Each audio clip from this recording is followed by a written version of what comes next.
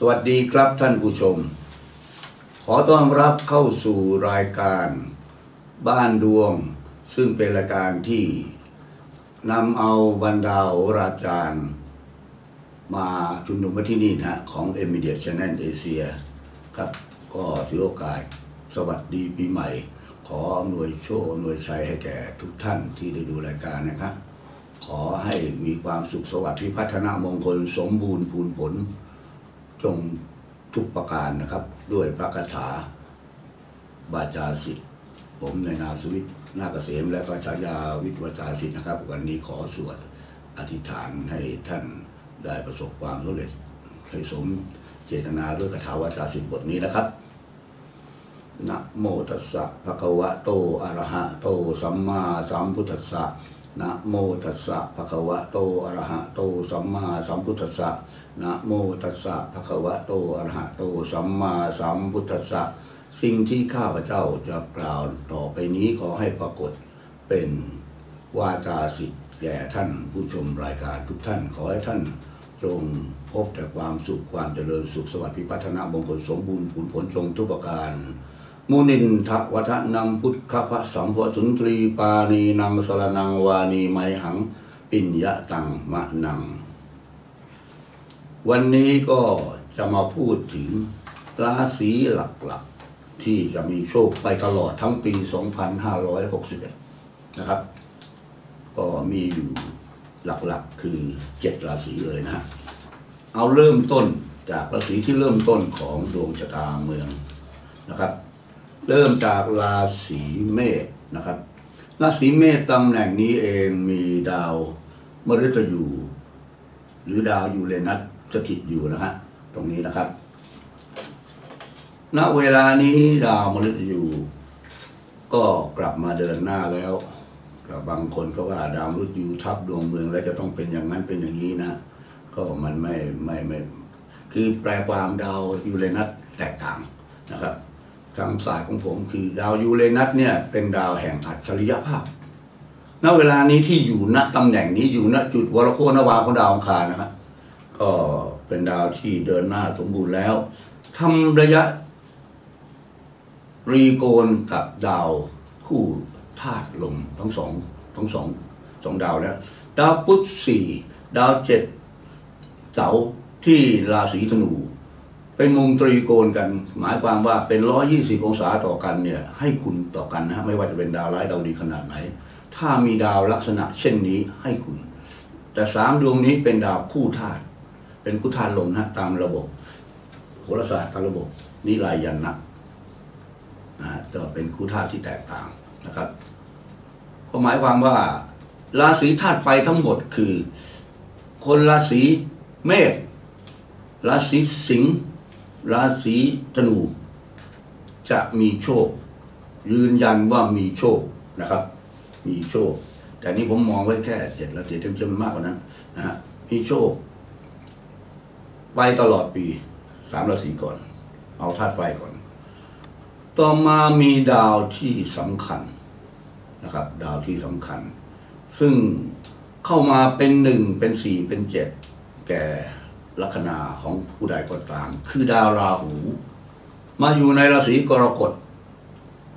เป็นหนึ่งแก่ราศีกรกฎ เป็นสี่แก่ราศีตุล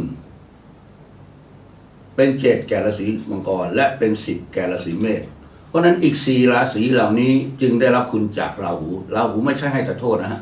ปวดเวลาให้คุณให้คุณอย่างมหาศาลเลยนะฮะนี่พูดไปตรงนี้ก็เท่ากับว่า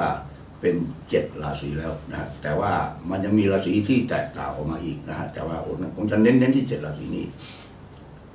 แต่มันมีที่สำคัญที่สุดในช่วงนี้ในวันที่สิบเจ็ดมกราคมนี้เอง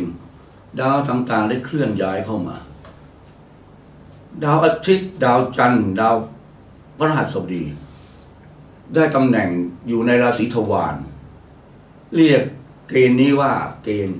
จันคุรุสุริยาสำคัญที่สุดนะฮะในวิชาราศีในวิชาโหราศาสตร์จากราศี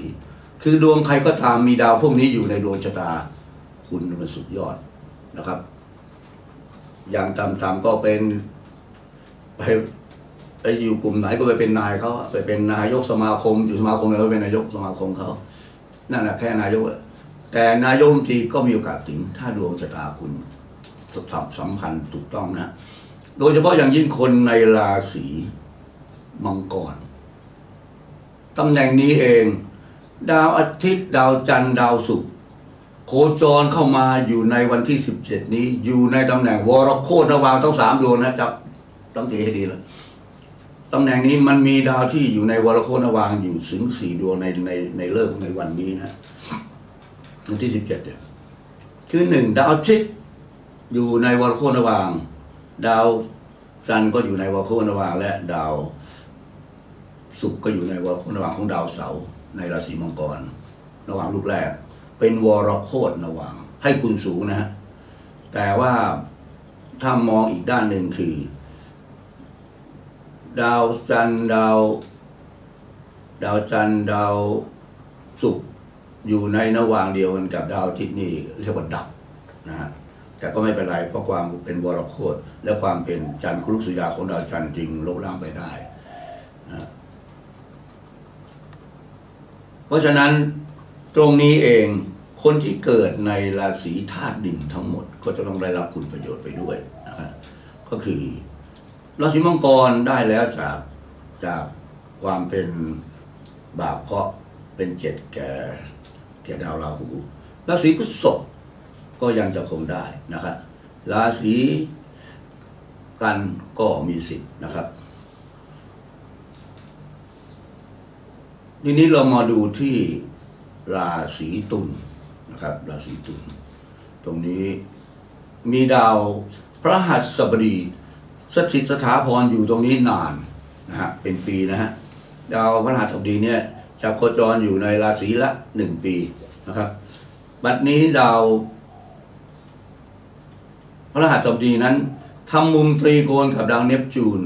ดาวเนปจูนซึ่งเป็นดาวที่เอามาใช้ในโหราศาสตร์ทางทางฝ่ายโหราศาสตร์สากลนะเขาจะใช้กันโหราศาสตร์ไทยยังไม่มีใครเอามาใช้ แล้วก็รู้สึกว่าไม่อยากจะศึกษาซะด้วย ความจริงมันเป็นความสำคัญในทางโหราศาสตร์ ก็มองข้ามไปนะครับและดาวเนปจูนนี้เปรียบได้กับดาวพระรหัสบดีและดาวศุกร์ เป็นดาวสองเป็นดาวที่มีส่วนผสมระหว่างดาวพฤหัสบดีกับดาวศุกร์เพราะฉะนั้นตรีโกณกับดาวพฤหัสบดีซึ่งให้คุณต่อกันนะ เพราะฉะนั้นอีกคือราศีตุลกับคนราศีกุมก็จะได้รับประโยชน์จากนี้ ส่วนคนที่อยู่ในราศีมิถุนนั้นก็เคยพูดไปแล้วว่า ถ้าคนอยู่ในราศีมิถุนนั้น ดาวพฤหัสบดีตรงนี้ได้ราชเกณฑ์ ส่วนคนราศีกุมดาวพฤหัสบดีณจุดนี้คือได้ธรรมเกณฑ์นะก็ถือว่าให้คุณ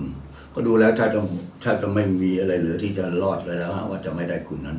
นะฮะที่สำคัญอีกดวงหนึ่ง ซึ่งอีกสองดวง ซึ่งลงมาอยู่ณจุดนี้คือดาวอังคาร ลงมาอยู่ในในราศีในราศีพิจิก เข้าพบเกษตรของตัวเอง เป็นพบกับเป็นเกษตร ตรีโกณกับดาวแปดดาวเก้าสามกับแปดนะไม่เท่าไหร่ สามกับแปดคือไม่ค่อยจะดีกันเท่าไหร่นะแต่ว่าเมื่อไปอยู่ในตำแหน่งดาวแปดตรงนี้ให้ความสำคัญเดี๋ยวจะอธิบายนะครับ ส่วนดาวเก้านั้นกับดาวสามนั้น เรียกว่าคู่โชคเทวฤทธิ์ให้คุณนะฮะและตำแหน่งนี้เองของดาวสามอยู่ในจุดที่สำคัญ ซึ่งเดี๋ยวผมจะไปพูดไว้ในในรายการดาวดีเลขเด็ดนะฮะซึ่งจะมีดาวพวกเหล่านี้เข้าไปไปสถิตถาพรอยู่ตรงนั้นนะฮะก็ ก็จะมาดูอีกดวงอีกคู่หนึ่งนะฮะดาวสี่ดาวพุธสี่โคจรเข้ามาอยู่ในในราศีธนู ร่วมกันกับดาวเสาเจ็ดโคจรเข้ามาอยู่ร่วมระหว่างเดียวกัน ดาวคู่นี้เป็นคู่ เรียกว่าเป็นคู่สมผลและเป็นคู่ธาตุและบางตำราก็ว่าเป็นคู่ศัตรูด้วยนะฮะคำพูดสุดหมายคำพูดที่มัน รุนเอกรุนแรงไปหน่อย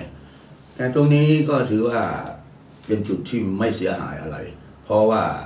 ดาวทั้งดาวพุธโคจรเข้ามาอยู่ในระหว่างของตัวเอง ส่วนดาวเสาก็โคจรเขาอยู่ในระหว่างของดาวพุธนะฮะอยู่ตำแหน่งนี้เป็นตำแหน่งเรียกว่าผลิตโทแห่งเลิกอยู่ในระหว่างของดาว ดาวพุธนะฮะระหว่างลูกที่สาม ก็ถือว่าใช้ได้ ก็ไม่เสียหายนะแต่ว่าดาวเสาตรงนี้ก็ในในในส่วนอื่นก็ว่ากันไปนะว่า เข้ามาทับกับดาวสาร์เอ้ดาวเจ็ดในดวงเดิมนะดาวเจ็ดในดวงเมืองเดิม คือดาวเจ็ดในดวงเมืองเนี่ยถอยหลังอยู่ ก็ไม่ค่อยจะดีนะดาวเจ็ดหมายถึงประชาชนก็ประชาชนก็ยังลำบากเหมือนเดิมนะฮะแต่ว่าตรงนี้ถ้าพูดถึงเรื่องความเป็นเป็น เป็นตัวตนอย่างสมมุติว่าอย่างอย่างผมเนี่ย ผมมีลัคนาอยู่ที่ราศีธนูด้วยนะฮะที่เป็นลัคนาจรผม ก็อยู่ในลักษณะตรงนั้นก็อยู่ในในจุดของดาวพุธแต่เป็นดาวพุธของอีกของคนคนละระหว่าง เป็นดาวพุธที่หกก็แตกต่างหน่อยหนึ่งแต่โอเคก็ถือว่าตรงนี้ก็เข้ามาทับ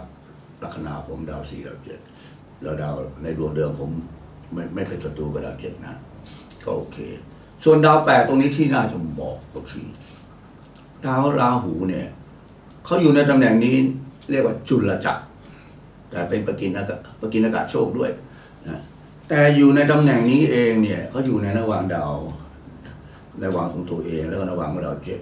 เพราะฉะนั้นดาวแปดตรงนี้ให้คุณนะเขาให้คุณ ก็มองดูประมาณนี้นะฮะว่าคนที่จะมีโชคมีลาบ เอาว่าเจ็ดราศีหลักๆ คือหนึ่งเมษกรกฎตุลมังกร และราศีที่เป็นตรีโกณก็คือ ราศีสิงห์ราศีธนูราศีกุมและราศีมิถุนนะครับ ตรงนี้ก็ได้รับคุณราศีพฤษภกับราศีกันก็ยังพอได้นะฮะก็สรุปว่า เน้นๆว่าที่เจ็ดราศีหลักๆนะครับเจ็ดราศีหลักๆก็คือ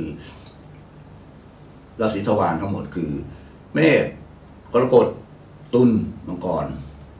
แล้วก็จะมีพวกราศีสิงห์ราศีธนูนะฮะเข้ามาตรงนี้ก็เป็นการ